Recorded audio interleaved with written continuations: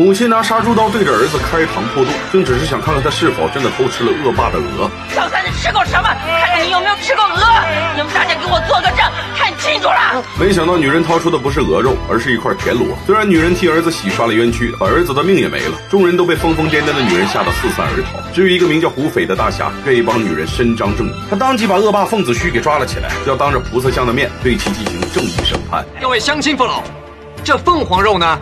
乃是天上极品，现在我就把他的肚子割开，让大家都看清楚。怎料就在胡斐准备动刀之际，孟子虚的父亲凤南天带着部下冲了过来。他的坏心肠子比起他自己的儿子有过之而无不及。只见他一声令下，手下们就一拥而上，要将胡斐拿下。不过区区几个毛头小子，怎么会是胡斐的对手？他三下五除二就将一众小弟打倒。凤南天见状，只得亲自出马。他一口咬破手指，滴在宝刀上面，随后手起刀落，砍下女人的脑袋。男人见状，愤怒的举起武器，想要为自己的妻儿报仇。可他还没冲到凤南天面前，就被一刀劈成了两半。好在他一口粘痰吐在了凤南天脸上，算是出了一口恶气。胡斐见凤南天如此不讲理，直接一跃而起，将凤南天踢飞数十米远。可惜双拳难敌四手，胡斐见对方人多势众，只好先拉着四叔强行撤退。没想到凤南天却不打算放过二人，机智的胡斐赶紧让四叔躲进寺庙中，然后把凤南天领到一条小巷。由于这里地形狭隘，凤南天无法全力使出宝刀，很快落入下风。见打不过胡斐，狡猾的凤南天就打算玩阴的，趁胡斐不注意，当即一记头锤，狠狠地将对方砸晕过去。等到胡斐恢复意识时，凤南天早就不知所踪。意识到情况不对的胡斐迅速来到寺庙，凤南天果然挟持了四叔，他把宝刀架在四叔的脖子上，逼着胡斐给自己磕头认罪。要知道，这么多年是四叔一人含辛茹苦的将无父无母的胡斐养大，救赎心切的胡斐只好妥协，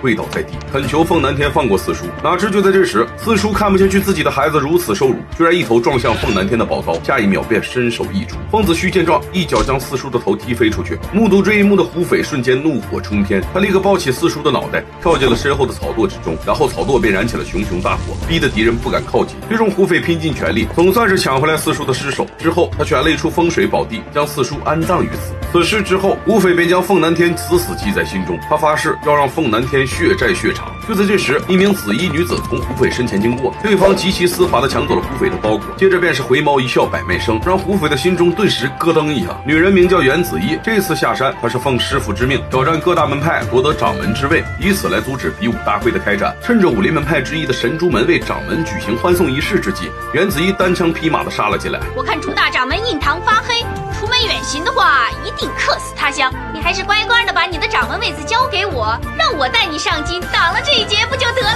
所有人都不相信这个弱女子能够打过朱掌门，结果下一秒，他就从怀里丢出数枚令牌。想不到在一周之内，他已经做了四个门派的总掌门。朱掌门见状，二话不说对其发起进攻。怎料朱掌门的攻击在女子眼中犹如蛮牛一般，轻而易举的将他耍得团团转。哎呀，真可怜啊！怎么搞成这副德行了？痛不痛啊？痛痛啊！哎，这个掌门太不吉利，我也不打算做了，我走了。但就在他打算前往下一家门派的路上，衣服突然着起了火，紫衣连忙纵身一跃跳入河中，这才算是灭了身上的火。可他的马却因为中了暗器倒地不起。就在这时，大侠胡斐不慌不忙地走了出来。袁紫衣还以为是他暗箭伤人，当即就要对他动手。不过胡斐来见袁紫衣，却不是来抢回自己的包裹，而是想替对方收拾两个贼人。原来刚才的诡计都是朱掌门手下干的好事儿。此时胡斐已经把两人绑了起来，任凭袁紫衣发落。袁紫衣对二人是丝毫不留情面，先是帮他们痛扁一顿，逼他们救好自己的坐骑，随后又设计让两人自相残杀，这才算解了心头之恨。经此一事，袁紫衣也对胡斐产生了好感。之后两人一路路打闹，倒是给旅途增添了不少乐趣。在路上，胡斐买了许多棉被和西瓜，这些都是他们日后要打倒凤南天的宝物。到了晚上，胡斐和袁紫衣到了一处破庙歇脚，孤男寡女共处一室，不发生点肯定是说不过去的。眼看俩人就要将生米煮成熟饭，突然天空一道惊雷闪过，袁紫衣立马恢复了理智，他一把推开胡斐，跑到屋外。胡斐见状也只能作罢。第二天，胡斐找到凤南天，要为四叔报仇雪恨。两人一言不合，大打出手。只见胡斐化身西瓜投手，投出西瓜让凤南天放松警惕，接着又投出特制西瓜，利用麦芽糖浆粘住凤南天的身体，最后他再甩出棉被，彻底将凤南天控死。眼看着胡斐已经扑倒凤南天，准备将其一刀毙命之时，突然一把飞剑丢来，挡住了胡斐的进攻。令他怎么都没想到，竟然是袁子衣救了凤南天一条命。姑娘，谢谢你救了我一命。不过我们好像在什么地方见过面。那么你好好的看清楚我的样子。到底像谁？看着袁子怡身上的配饰，一些陈年往事涌上凤南天的心头。他当即表示自己会给袁子怡写一封信，不料狡猾的他竟在信纸里下了毒，只要袁子怡一撕开，毒气就会喷涌而出，三天之内他必死无疑。胡斐只好暂时放弃复仇，来找江湖上用毒最厉害的药王门为他解毒。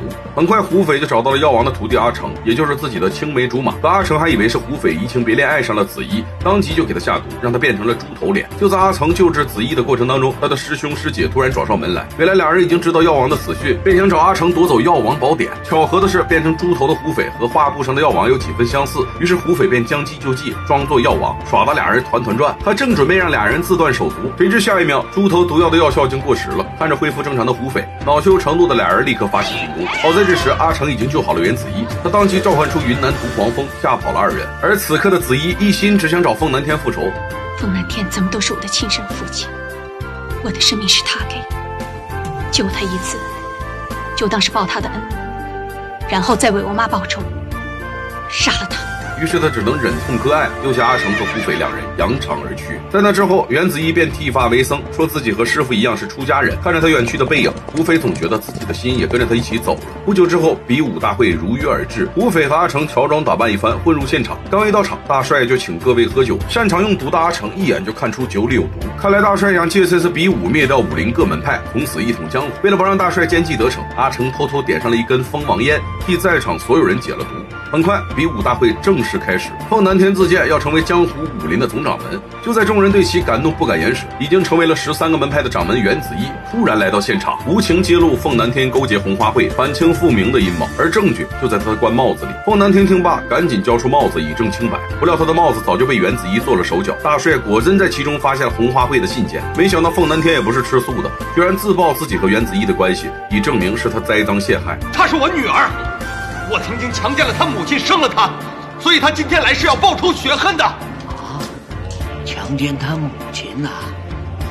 原来多年前，因为多喝了三两二锅头，凤南天没忍住，对一个良家少女下了手。没想到，就是这一夜，竟整出个娃儿来。卖鱼的小伙子见少女可怜，便打算接盘和其成婚。哪知恶霸凤南天一听不干了，当晚带着人家血洗了小伙一家。少女心中有愧，最终含泪自尽。好在经过的一名道姑发现了她的孩子。二十年后，孩子长大成了亭亭玉立的大姑娘。为了给自己的母亲报仇，袁子怡来到武林大会现场，无情揭露凤南天勾结红花会、反清复明的阴谋。大帅见武林各门派没一人中毒，便以为是凤南天背叛了自己。一气之下，大帅立即下令将在场所有人赶尽杀绝。大战一触即发，阿成连忙带着胡斐逃离了现场。不料刚进家门，就遇到了师兄师姐前来复仇。胡斐为了保护阿成，不幸身中剧毒，最终还是阿成以性命为要引，把胡斐从鬼门关给救了回来。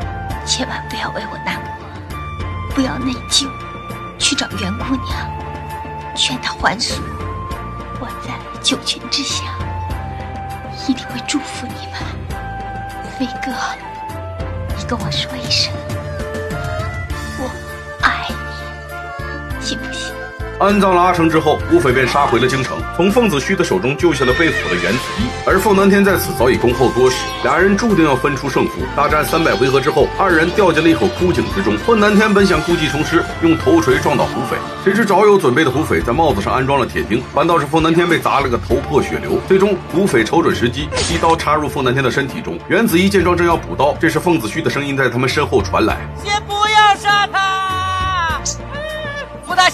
我把我爹的财产分开，呃，我们一人一半。哎，妹妹，我是你的亲哥哥，你快劝劝胡大侠呀！我现在过去，马上严刑逼供，让他招出把金钥匙藏在哪儿了。心如死灰的凤南天立刻起身扑倒儿子，袁子怡的剑也因此贯穿了二人的身体。胡斐和袁子怡都大仇得报，可最终俩人却没能走到一起。也许是碍于袁子怡已经出家，也许是胡斐心中还有对阿成的不舍，而这何尝不是一种凄美的爱情呢？真正的爱情似乎正是这般，需要放手。